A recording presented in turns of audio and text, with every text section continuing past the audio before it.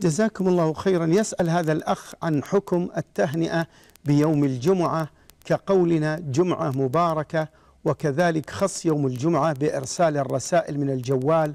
وفي نهاية الرسالة يكتب آه، أكثر من الدعاء جمعة مباركة وجزاكم الله خيرا. هذا مبدأ لنشر البدع. لا أصل للتهنئة بيوم الجمعة. وإن كان يوم الجمعة يوما مباركا ويوما عظيما وفيه صلاة الجمعة وفي ساعة الإجابة وفي اجتماع المسلمين وله فضائل كثيرة. لكن نحن نتبع الدليل فما ورد أنه يهنى بيوم الجمعة ولا ورد أنه يطلب كثرة الدعاء فيه. والجوالات أصبحت خادمة للمبتدعة فعليكم أن تحذروا منها وما ينشر فيها. نعم.